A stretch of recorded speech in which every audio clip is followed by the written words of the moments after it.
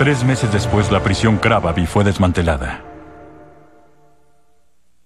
Doblaje hecho en México por AF de Tobin House.